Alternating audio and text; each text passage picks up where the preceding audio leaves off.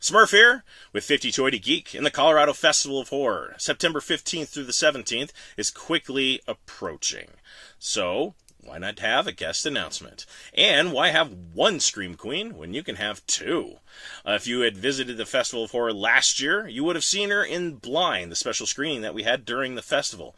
She's no stranger to cult classics as she's appeared in Sharknado 4, as well as Halloween 2 from the Rob Zombie series. And if you're a fan of the Hatchet series, you're very familiar with her work.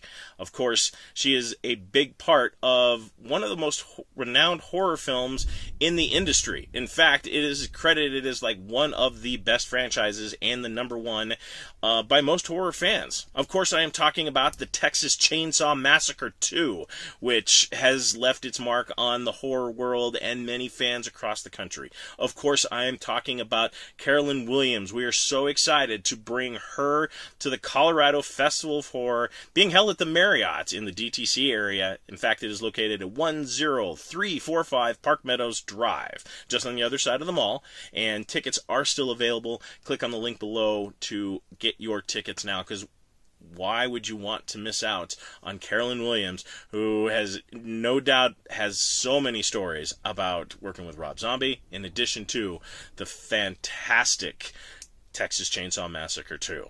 We do have more guest announcements. In fact, I will be back next week with a new guest announcement. In the meantime, stay tuned.